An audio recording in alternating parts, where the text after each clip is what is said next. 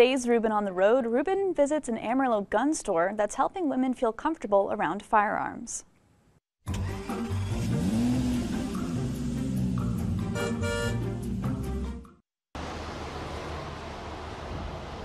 We did. We decided to open last October, I believe, October 2022, and um, we worked for a solid year on getting inventory together and deciding what sort of inventory we wanted, what our target market was, and then we finally opened our storefront in January.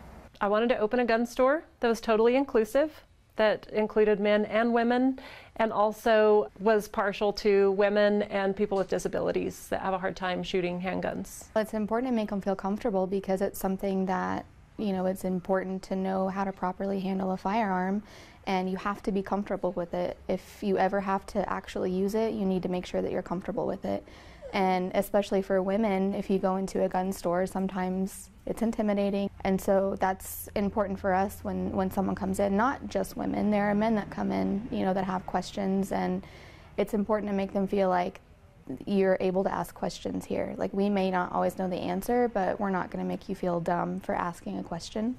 Um, we want you to be comfortable. We want you to feel confident in carrying a firearm and knowing how to properly use it. Most women come in and they say, I don't like to shoot a, a, long gun because it hurts. It hurts my shoulder and, you know, my wrist and, and all kinds of things.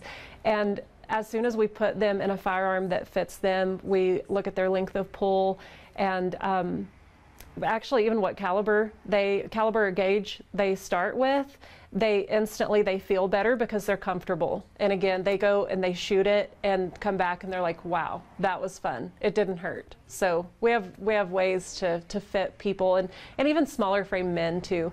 And they're afraid to ask. You know they go into a gun store they're instantly intimidated because they need to be a man you know and they need to be big and strong and sometimes that doesn't always fit